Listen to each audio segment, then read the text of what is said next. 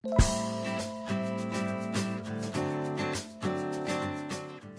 ิมพ์ริพายจับมือสองยักษ์ใหญ่ด้านขนส่ง สยบดราม่าส่งของช้า กลายเป็นดราม่าใหญ่โต หลังแม่ค้าออนไลน์คนดังพิมพ์ริพาย โดนตั้งคำถามถึงปมส่งของช้าทำให้ลูกค้าออกมาโวยกันเพียบ แต่ความปังก็ยังไม่ลด ล่าสุดถูกเว็บดังจากอังกฤษ เลือกให้เป็นผู้หญิงหนึ่งใน 6 จากผู้หญิงเก่งทั่วโลก ที่สร้างแรงบันดาลใจ ฉลองวันสตรีสากล